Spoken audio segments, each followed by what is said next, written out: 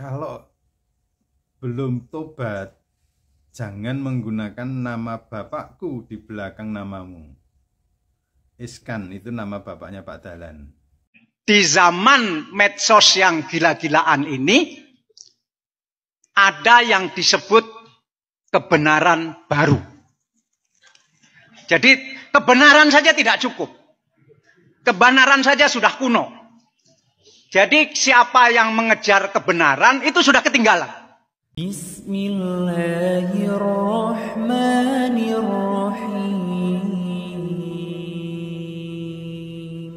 Assalamualaikum warahmatullahi wabarakatuh. Sahabat muslim yang dirahmati Allah subhanahu wa ta'ala.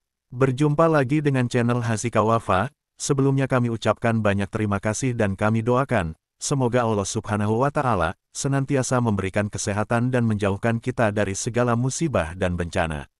Amin ya robbal alamin. Pada video sebelumnya, kita telah membahas berita dari mantan Menteri BUMN Dahlan Iskan, tentang alasan beliau murtad dari Islam dan memilih agama baru. Pada video kali ini, channel Hazika Wafa akan membahas tanggapan dari keluarga dan Majelis Ulama Indonesia, mengenai mantan Menteri BUMN Dahlan Iskan, yang dikabarkan telah murtad keluar dari agama Islam. Atas beredarnya video Dahlan Iskan yang viral di media sosial, mengenai pidato beliau saat berada di Pondok Pesantren Al-Zaitun Jawa Barat, yang mengatakan bahwa dirinya telah menjadi bagian aktif dari agama baru yang bernama Buddha Suci. Video tersebut kemudian mendapatkan banyak komentar di media sosial. Banyak masyarakat lantas bertanya, benarkah mantan Menteri BUMN dan Direktur Utama PLN tersebut telah keluar dari agama Islam, dan memilih agama baru setelah beliau menemui pemimpin tertinggi agama Buddha suci di Taiwan. Selain masyarakat yang penasaran akan hal tersebut, teman dekat dan keluarga Dahlan Iskan juga dibuat penasaran akan kebenaran berita tersebut. Salah satunya pengakuan dari mantan rekan kerja beliau saat bekerja di Jawa Pos. Laki-laki tersebut juga mempertanyakan kebenaran video Dahlan Iskan saat melakukan ritual ibadah di sebuah kelenteng di Taiwan. Melalui rekan kerja yang lain, beliau mengatakan sudah menghubungi Dahlan Iskan untuk meminta kejelasan mengenai video tersebut. Namun menurutnya, Dahlan Iskan belum bisa dihubungi, dan belum membalas pesannya. Lebih lanjut laki-laki tersebut juga mengatakan, bahwa adik kandung Dahlan Iskan juga memberikan pesan, jika Dahlan Iskan belum bertobat, jangan menggunakan nama ayahnya di belakang nama Dahlan. Untuk lebih jelasnya, kita simak video berikut ini. Lama tidak muncul di publik, eh, mantan Menteri BUMN Dahlan Iskan tiba-tiba diramaikan, diviralkan di media sosial, di dunia maya itu sedang melakukan ritual di kelenteng. Belum tahu kelenteng di mana, tapi nampaknya kelenteng itu ada di Surabaya. Jadi mantan CEO Jawa Pos Group itu terlihat sedang membawa patung dewa dan membawanya ke atas altar dan kelihatan serius sekali. Di sampingnya ada seorang uh, warga negara Tionghoa uh, yang ikut mendampingi dia dan menjadi pemandu. Dahlan kelihatan sangat serius dan ini meramaikan dunia maya bahkan teman-teman dari Jawa Pos, ex Jawa Pos pun juga ikut mempertanyakan ini Pak Dahlan ini sedang apa. Eh, Ferry Ismirsa, salah satu wartawan Jawa Pos dulu, mantan wartawan Jawa Pos yang sahabat saya, itu sudah menelpon Pak Dahlan tapi belum direspon. Lalu Ferry juga sudah mengkonfirmasi lewat WA tapi sampai sekarang belum dibalas. Saya yang dulu juga wartawan Jawa Pos mencoba mengkonfirmasi ke Pak Dahlan juga belum direspon.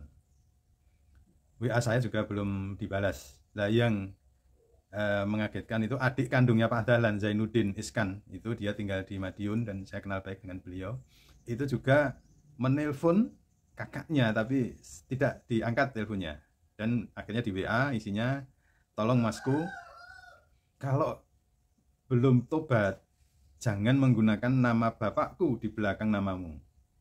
Iskan itu nama bapaknya Pak Dahlan kasihan bapakku jika tahu apa yang kamu lakukan. Itu WA Mas Zainuddin kepada Pak Dahlan dan kita belum tahu uh, balasan dari Pak Dahlan apa. Tapi ada uh, eh, WA yang diteruskan ke beberapa teman Jawa Pos yang isinya adalah untung saya tidak sedang nyapres. Ini mungkin jawaban dari Pak Dahlan ke teman-teman yang penasaran dengan apa yang dilakukannya itu melakukan ritual di kelenteng menjelang atau pas hari raya Imlek kemarin. Sahabat Muslim yang dirahmati Allah Subhanahu wa Ta'ala, selain masyarakat dan keluarga Dahlan Iskan, pihak Majelis Ulama Indonesia juga turut memberikan komentar terkait video dan pidato Dahlan Iskan tersebut. Kiai Haji Kolil Nafis dalam postingan di media sosial miliknya juga mempertanyakan mengenai kebenaran pernyataan mantan Menteri BUMN Dahlan Iskan yang anti terhadap doa dan rumah ibadah. Menurut Kolil Nafis, apa yang disampaikan Dahlan Iskan tidak Pancasilais dan tidak sesuai ajaran agama apa pun di Indonesia, sebab Dahlan Iskan telah menyalahkan rumah ibadah dan meniadakan ibadah. Namun sampai dengan saat ini, mantan Menteri BUMN tersebut belum memberikan tanggapan terkait videonya yang viral di media sosial. Sahabat Muslim yang dirahmati Allah Subhanahu wa Ta'ala, pada pidatonya di Pondok Pesantren Al-Zaitun, Jawa Barat, Dahlan Iskan telah menyampaikan bahwa dalam agama baru yang ia bawa, tidak mengenal adanya tempat ibadah dan melarang para pengikutnya untuk melakukan doa, sembahyang dan ibadah apa pun. Namun sebagai umat muslim, kita harus meyakini, bahwa masjid bukan hanya sebagai tempat menunaikan ibadah sholat, tetapi juga berperan sebagai pusat pendidikan dan penyebaran syiar Islam. Selain itu, masjid juga dapat digunakan sebagai tempat menyelesaikan berbagai persoalan umat, dan juga menjadi pusat pemberdayaan masyarakat. Sebagaimana yang disampaikan Ustadz Adi Hidayat dalam tausiahnya berikut ini, diambil dari channel YouTube Adi Hidayat Official.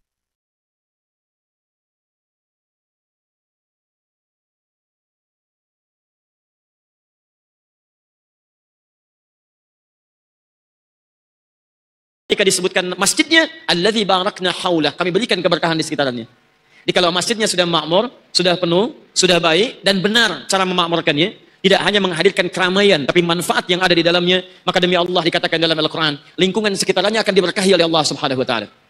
Kalau keberkahan sudah diturunkan oleh Allah Subhanahu Wa Taala, maka kedamaian, kemakmuran, kesuksesan, dan kebahagiaan akan lekat di lingkungan itu. Saya baru tiba dari Korea beberapa hari yang lalu. Demi Allah saya katakan, tidak kami sampai ke Korea kecuali mendapatkan informasi-informasi terbaik dari saudara-saudari kami yang ada di sana. Di antara informasi terbaik ya teman-teman sekalian, Alhamdulillah, dengan izin Allah Subhanahu wa taala di Korea sekarang teman-teman kita, saudara-saudari muslim kita kompak di sana. Diinisiasi oleh teman-teman kita dari Indonesia sudah bisa mendirikan 58 masjid dan musola. Alhamdulillah. Yang lebih luar biasa, ketika masjid didirikan, perhatikan ayat tadi memberikan kesan pada kita. Alladzi barakna haulah, keberkahan Allah diliputkan di sekitarnya. Apa yang terjadi? Allahu Akbar. Tiba-tiba para petugas-petugas kepolisian, petugas-petugas keamanan merasakan tentram dengan hadirnya masjid. Yang mabuk-mabukan jadi berkurang bahkan hilang di sekitaran masjid.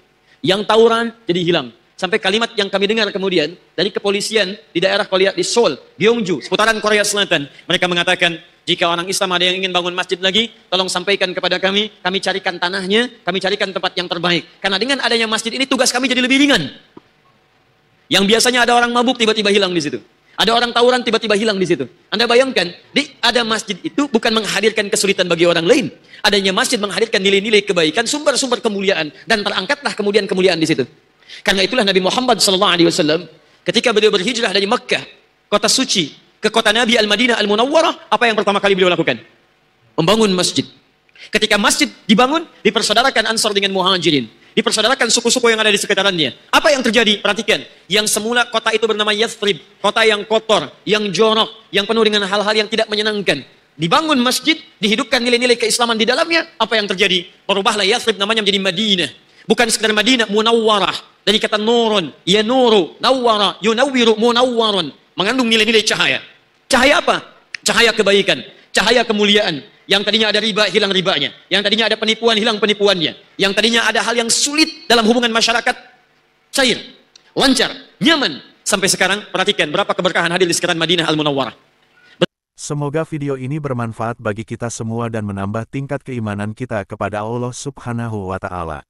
Wassalamualaikum warahmatullahi wabarakatuh.